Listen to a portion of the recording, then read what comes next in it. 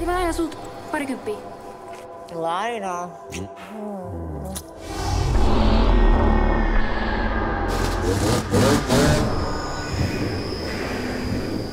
Toinen metrokuolema. Mä mietin, että jos se on tappanut useamminkin kuin kaksi kertaa. Tämä mies on erittäin vaarallinen ja aseistettu. Pää kylmänä eikä soloilua. Et sä tosiaan tiedä, missä äiti on.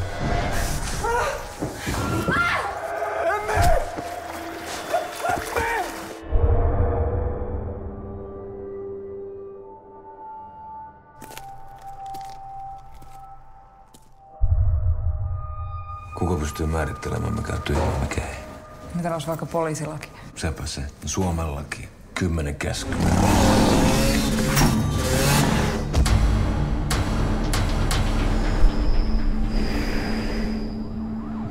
Sä vitun muslimi puhut kyllä sen verran huonoa suomea, että mä en ymmärrä sanoa. Tää on mun raamattu! Tää on sun matkan pää!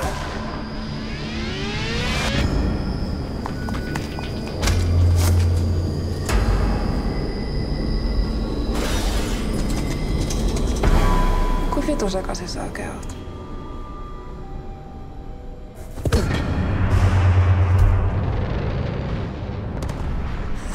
Minussa on saatana.